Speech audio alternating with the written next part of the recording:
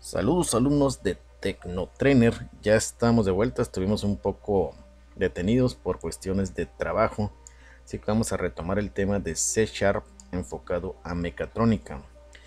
En el ejemplo pasado, en el video en este caso número 23, vimos algunas eh, propiedades y eventos de los controles de Visual Studio con C Sharp.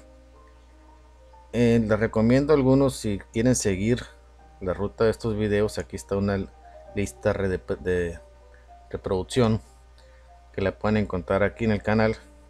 Y se pueden ir uno por uno no porque ya ven que este que aquí youtube nos acomoda los videos medio medio alternados. Entonces si se van aquí a la lista de reproducción pues ya lo pueden seguir aquí más fácil. Bueno entonces vamos a retomar el tema en el video pasado veíamos por ejemplo los eventos de los controles estos el numeric step down el trackbar el scroll bar que eran muy parecidos no tú mueves aquí el control y se cambia la propiedad en este caso bueno aquí no necesito un evento.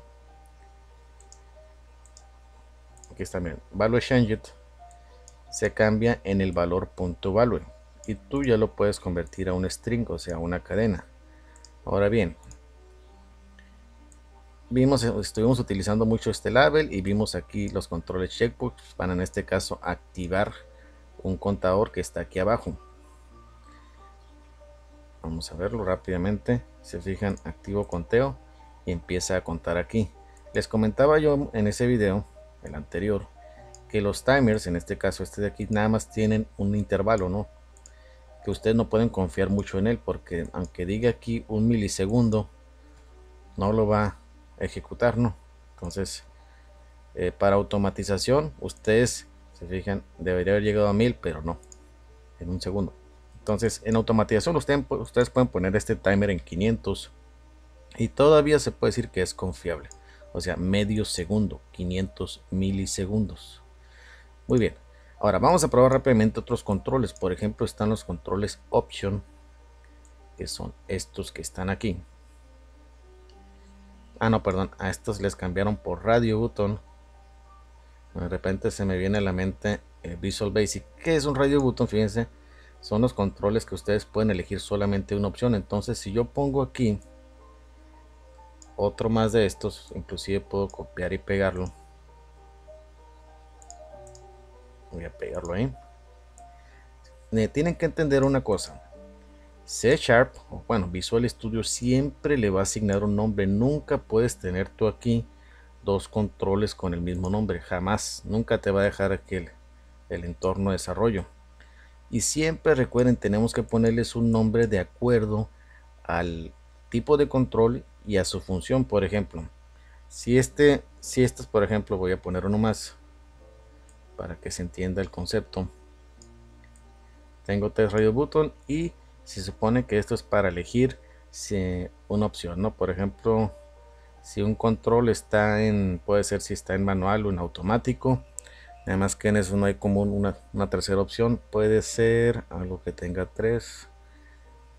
Por ejemplo, como si fuera una configuración, ¿no? Ah, ya sé, por ejemplo, la velocidad en baudios de un puerto serial. Entonces, fíjense bien. Si estos tres tienen la velocidad en baudios, yo le puedo poner aquí Fíjense bien, me estoy refiriendo a los controles estos de aquí, miren. Serial port, que luego lo vamos a ver. Se fijan, estos controles tienen un baud rate diferente, ¿no? 9600, 19200, varios así, ¿no? Entonces, vamos a ver si... Lo malo que aquí no me da la opción para acordarme de otra. Como toda mi vida he usado 9600. Bueno, voy a poner aquí RB que se refiere a radio button 9600. ¿Okay? Bueno, mejor lo voy a poner así. Audios. About 9600. Sí podemos usar números siempre y cuando existan letras acá, ¿no? Si no, nos podemos confundir. Ahora, RB. About, siguiendo el mismo nombre, puede ser aquí 19200.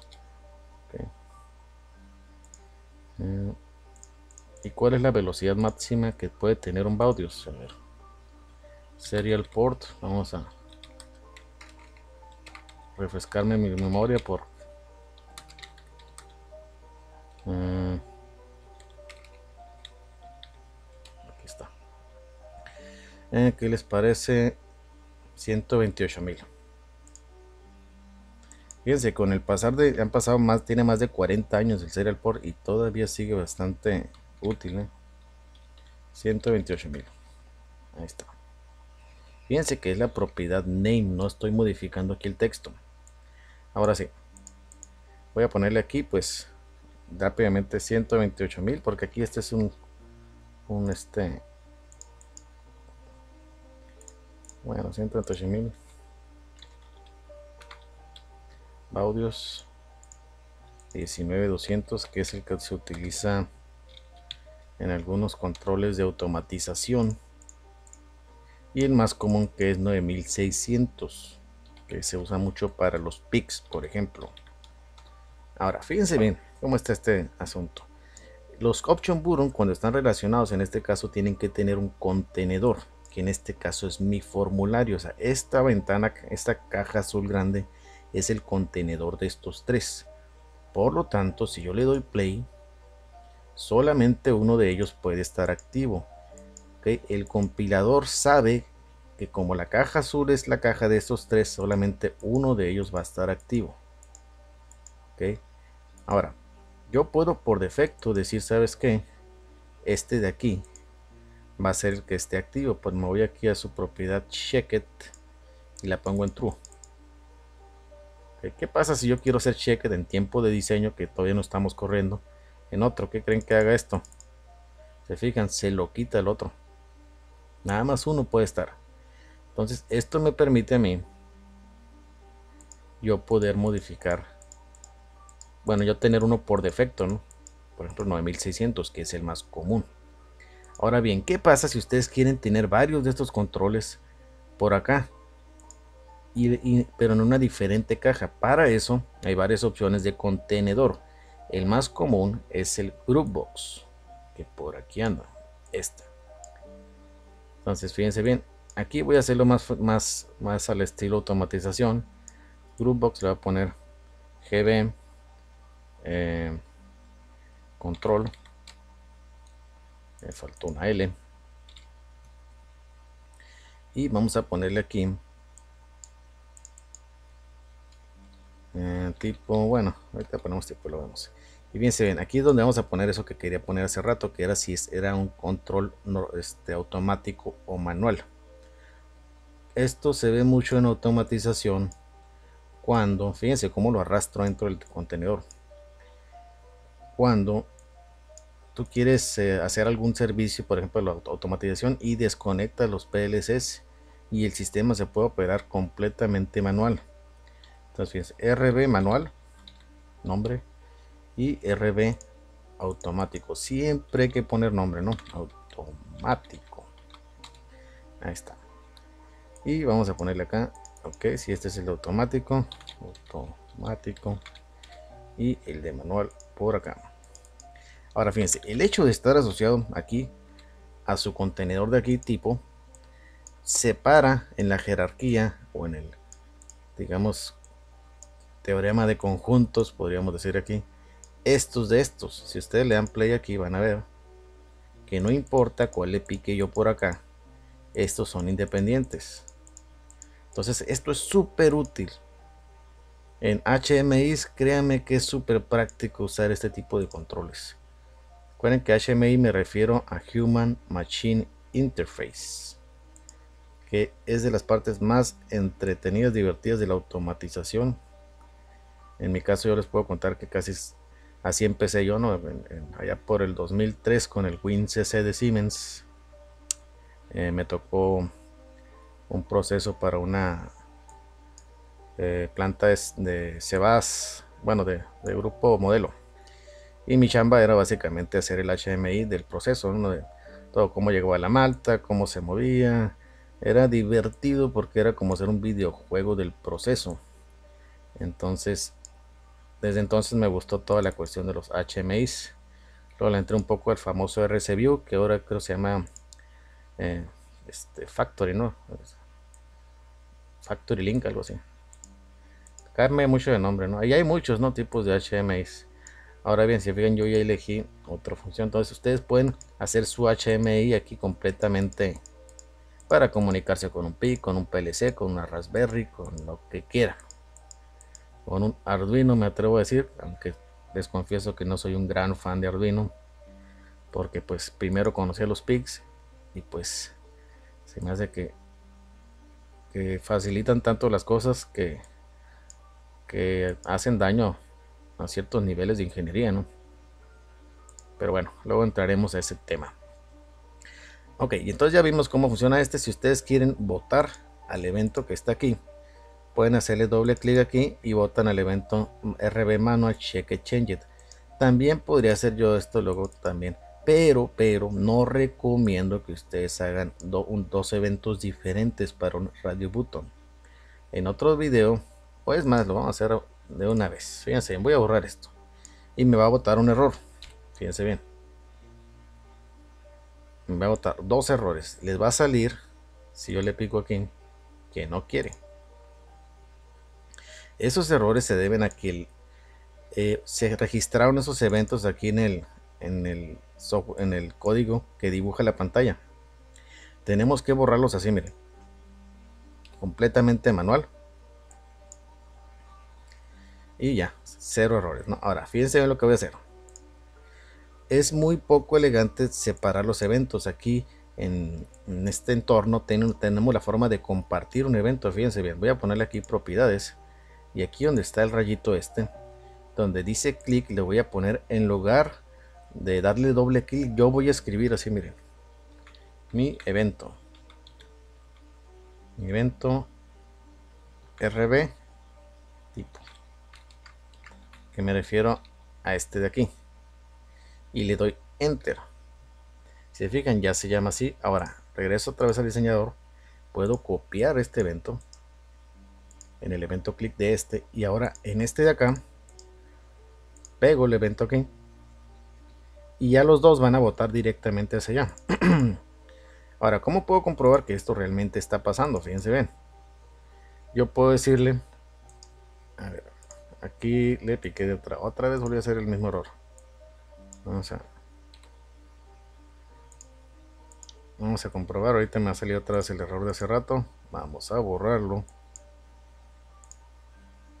Cosas con las que uno tiene que irse acostumbrando aquí en C Sharp. Así que créanme que no se salvan de que esto les pase. Mejor que lo vean de una vez. Entonces, vámonos ahora sí al inicio. Ok. Ok, vamos a comprobar. Fíjense, aquí se supone que entramos cada vez que le picamos ahí. Entonces vamos a hacer algo, miren, voy a poner un, algo nuevo que se llama message box. Punto show. Okay. Y vamos a poner, en este caso yo tengo que identificar quién fue el que le dio clic. Primero voy a comprobarles que sí. Entramos ahí, los saludos le pico play saludos le pico al otro saludos se fijan entonces es muy sencillo poder redirigir y lo mismo puedo hacer yo acá con estos de arriba miren. Puedo decirle aquí este también crear mi propio evento clic le puedo poner mi evento eh, lo de acá velocidad y, y nada más copio el evento en estos de aquí y ya. Ahora bueno Creo que lo de identificar cuál, cuál de estos es lo voy a dejar para el siguiente video para tocar otro control que es súper básico que es el control textbox. Es la clásica casilla donde ustedes pues llenan algo y pueden este pues por ejemplo un nombre cosas así como opera el textbox muy sencillo voy a poner tv primero recuerden que siempre hay que ponerle nombre porque si no se hace un show algunos le ponen text box, otro text. Yo le voy a poner TV. Y le voy a poner eh, el nombre que es, digamos, lo más básico que puede existir. Ahora bien, TV y lo voy a, asociar aquí a iniciar. Fíjense lo que voy a hacer. Voy a hacer que cuando yo le dé clic aquí, lo que escribí acá me lo ponga acá. Ok, entonces yo tengo este control aquí iniciar y voy a comentar esto para que no se confundan. Vean qué sencillo es esto. ¿eh? En el evento clic de esto, voy a hacer que lbl resultados.text tome el valor que yo tengo en tb entrada. No es tb ah ok ok, se me puede confundir con con el track bar. Bueno es que al track bar yo le había puesto tbar bueno. Em, vamos a ponerle tb nombre punto text así de sencillo fíjense es pasar un, la propiedad texto de aquí a la propiedad texto de acá claro que ahí si le pico pues no pasa nada no pero yo le pongo aquí cualquier cosa y ahí está no entonces es una forma bastante sencilla ahora qué hace qué pasa con este dato fíjense em, los dos son cadenas entonces la, cadena que está allá se pasa para acá. Entonces yo puedo inclusive declarar aquí una cadena string cadena y tomar ese valor, fíjense. tv.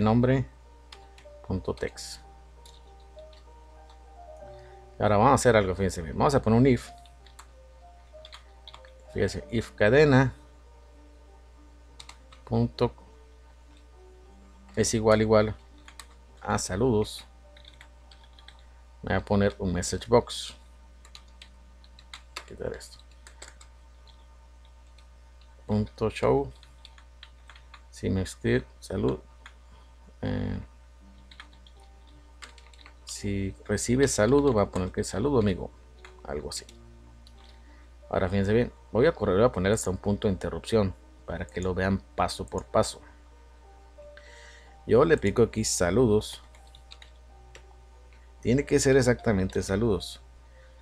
Digo que, fíjense bien como con F11 me voy paso por paso. Aquí no hay de que se me perdió un dato. No, no, no. Con el, con el debugger que tiene aquí Visual Studio es muy fácil encontrar errores. Ahora fíjense. Ya pasé esto. Cadena tiene saludos. Ahora sí pregunta if saludos es igual a saludos. Así es. Se cumple la condición true en todo esto y entramos aquí y nos tiene que poner esto saludo amigo si no si yo pusiera else si no entré yo le podría poner otra cosa miren message box estos message box son desde uh, tiempos de Visual Basic más de 20 casi 25 años. Eh, no entendí lo voy a poner aquí. Clásico. Emoticon o como le llaman eso y vamos a ponerle esto.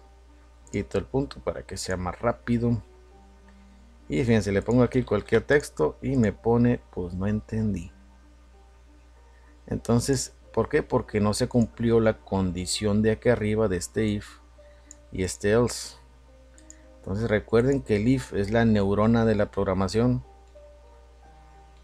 con esto pueden hacer lo que quieran, su WhatsApp, su Facebook, su eh, nave que se va a la luna. Básicamente de aquí viene todo. Entonces, si se fijan, pues todos estos controles son bastante prácticos.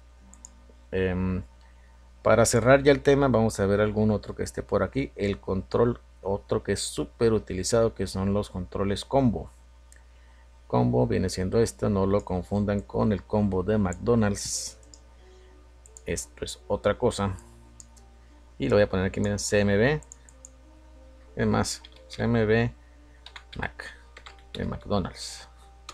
Imagínense que ustedes quieren elegir tipos de, de hamburguesas aquí. Entonces um, ¿cómo le llenamos aquí los valores? si yo le pico aquí en play no me sale nada pero yo puedo llenarle aquí los ítems de una forma muy sencilla. Me voy aquí a donde dice collections donde está collections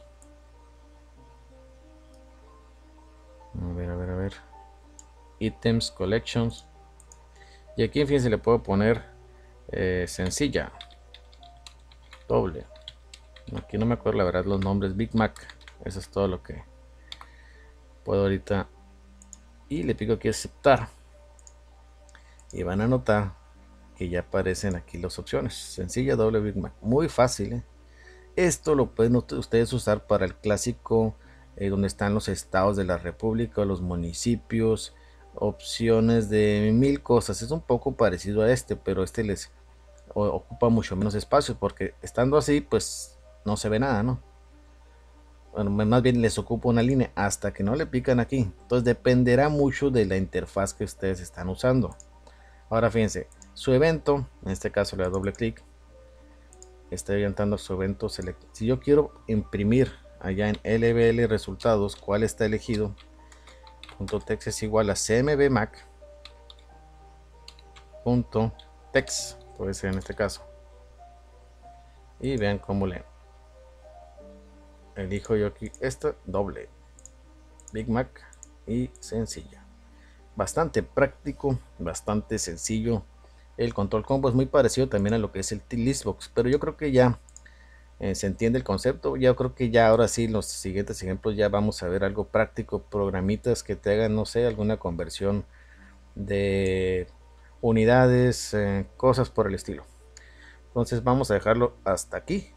Y pues espero este fin de semana tener el tiempo suficiente para unos 10 videos. Un saludo y nos vemos.